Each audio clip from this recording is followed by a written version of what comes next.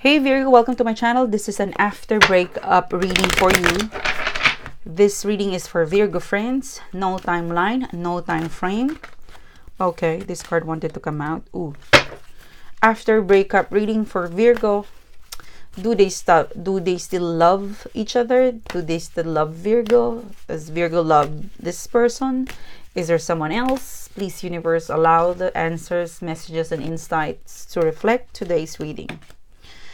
Guys, before I start, I want to thank you for your support, for your like, and for your generous donation. Please join my exclusive membership because this video is going to be posted there regularly, okay? But it will be available in public but a month after the initial um, initial launch and the exclusive uh, a membership perks video. So join join the team. I hope to see you there.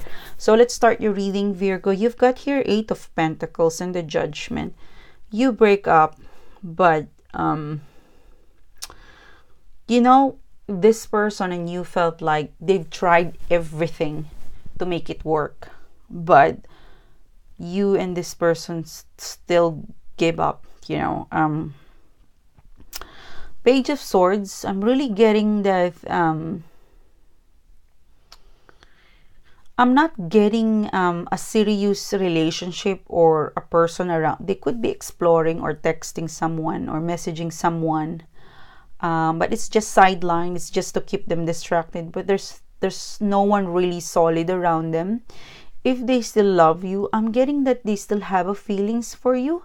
In fact, they're working on. For some of you, I'm getting that this person is is going to communicate with you and going to update you that they've changed that they have been they've changed that they've been healing they've been for some of you the breakup possibly cause of a third party or something something toxic in your relationship could be.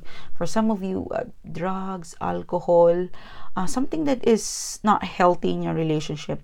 So for some of you they will communicate and update you like and you know and and you know and be honest with it. I'm you know i'm changing. I have progress um, you break up and they are now examining for some of you after to break up they're examining that if I have to I have to contradict what I first what, what I say in the in the beginning, you know, because I felt like after breakup they're thinking if I made an effort to the relationship, this would have you know this would have end up like this. Like they felt like if if they made proper effort or take care of the relationship, you guys will not break up. Or if if they were just concentrating on the relationship itself, it would not um, end up this way.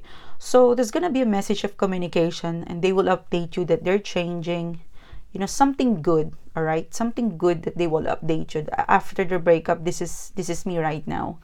And you know, that's, you know, it's it's what what they're doing is that, you know, um healing correcting and fighting off the devil the toxic you know the toxic that build up in their life in your relationship you know. It's it's really a person after the breakup they're getting better. And they're updating you of the progress of how they are. I'm i'm here i went back to the gym i'm not smoking i'm blah blah blah i'm thinking i'm taking care of myself i've stopped the third party i you know something like that and eventually they will reach the king of pentacles. It is as if they were the same person that you love. Okay? So what i'm seeing in here is that what I'm seeing in here is that you know it's it's a breakup. It's a process of a person getting their feet back together eh, getting their self back you know so that they could be the same person the way you love them. Something that they would communicate to you and be they will be proud to say i am the same person that you love you know.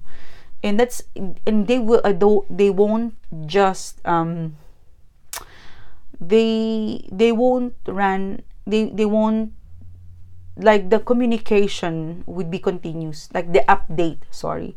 The update like read their messages or listen to the way they talk because it's always an update of their progress okay which is good. So this is their goal king of pentacles to be responsible practical and um um it's just it's like it's, it's it's the same person that you love. This is their goal. Um, there there are you know there are an, there is an attempt to date to get to know but their focus is you know because i felt like there's a bull you know there's you know people around them or situation that's stubborn and it won't go away. I'm really getting that while for some of you while they move on there are um offers and tempting offers because the devil this is so hard to get rid. So there would be offers and tempting offers that would lure them back to the toxic. But this is what they're fighting off you know they're fighting not to go back to the way they were before. They're actually avoiding that. And so one of the coping mechanism is that they update you that hey this is you know this is me right now. This is the progress that i'm doing getting back to the gym. I have a new work which i think the reason why they're communicating that to you is they still feel attached towards you and your praise or your approval or your opinion matters okay? They still value you okay? So this is reading. Thanks for your time. Thanks for being here. I will see you soon again. Have a great day. Bye bye